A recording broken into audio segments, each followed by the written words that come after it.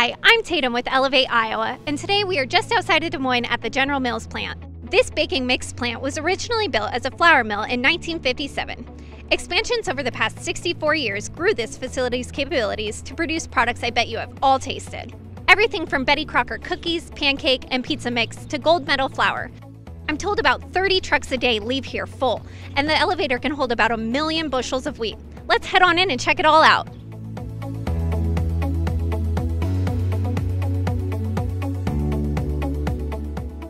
So I have some time with the plant manager, Kellen. Hi, Kellen. Hi there. So can you tell me a little bit about General Mills and the history of this plant?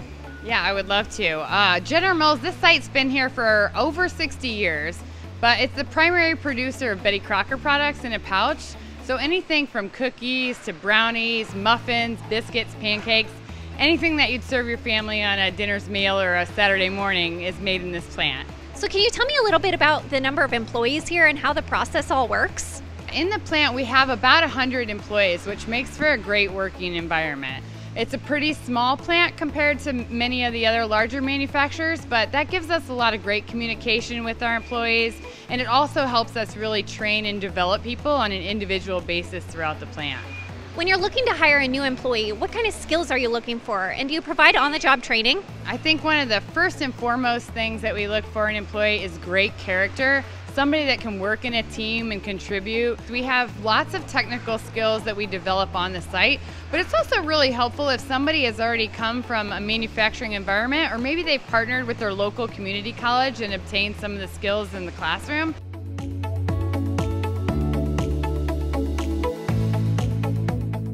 I'm here where the process all begins with John. So, John, tell me, what is it you do here? Um, we take in grain, uh, wheat, and we unload it and then we blend it and we ship it over to the mill. So what part of the process are we at here at the elevator? Basically, we this is our unload shed. We'll take it down here through a belt, we'll convey it up, and then it go, it's dispersed through legs to the correct area it needs to go to. When you came into this position, did you have all the skills you needed to be an elevator technician, or did you learn on the job? No, not at all. Uh, it's a constant learning process, always learning. I did have a few skills that really helped me get along here, but I've picked up quite a few along the way as well. When I walk through the grocery store, I see some of your products. What do you think when you walk through the aisles? I get a sense of pride and fulfillment. I really enjoy walking down the aisles and seeing all the lovely products we make, whether they're brownies, cookies, muffins. Uh, I really enjoy all of them.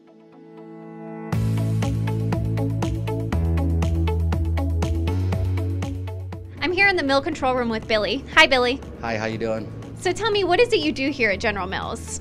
I grind uh, wheat and I make it into to a flour, essentially. So can you tell me what this computer behind you does? This is the HMI that I use to check our equipment just to make sure everything's flowing, our flow rates are work are flowing properly. Our when our alarms go off, I check it, reset it. It's it's a fairly automated system that I use. When you came into this job, did you have any prior training? No, I did not. Um, I learned everything that I did uh, on the job. What are you most proud of of your job here at General Mills? What I'm proud of is actually going to the store, actually seeing our products on the shelves. I mean, it's kind of interesting, amazing, I guess, walking down the aisle and seeing our products on the shelves.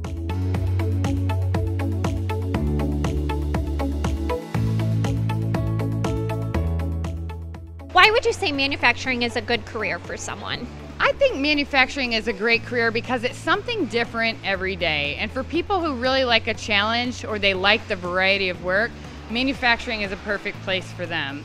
It's also a great opportunity to develop teamwork and you're working on a team. I especially think food manufacturing is fun because you get to see your products each and every day. I know I always like it when I go through the grocery store and my kids are pointing out that that's the sugar cookie mom makes at her office. What would you say to those who say that manufacturing is a dirty job?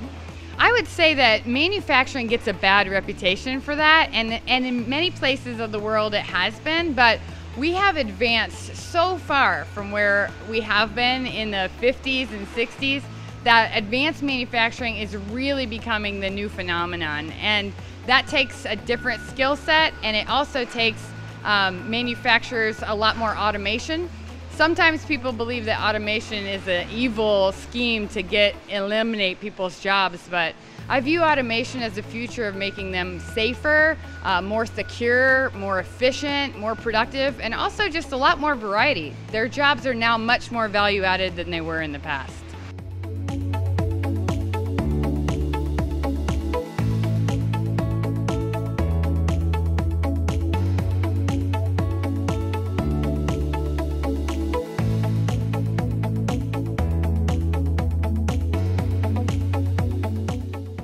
Best tour ever. Great smells, great people. Just another awesome example of an advanced manufacturer in Iowa.